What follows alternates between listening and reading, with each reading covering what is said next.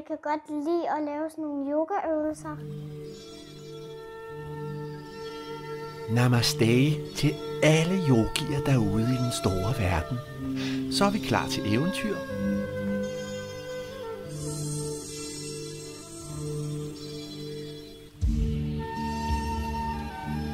Saml hænderne og før dem ned til dit hjerte. Tag en dyb vejrtrækning gennem næsen og ånd langsomt ud gennem munden.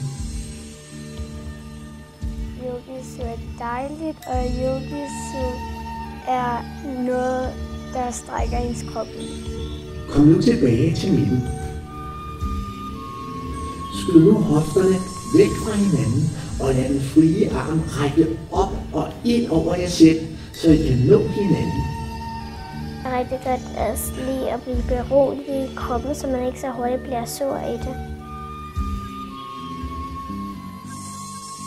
Og historien er rigtig god i yogisu. fordybelse, og det giver dem en øh, bevidsthed omkring deres egen krop, og så giver det faktisk også et rigtig fint fællesskab. Og lad din krop hænge slapt. det er et godt univers. Altså, det børnene kan ligesom relatere sig til nogle af de her dyr, de her øvelser. De render rundt ude på pladsen og, og, spørger efter det.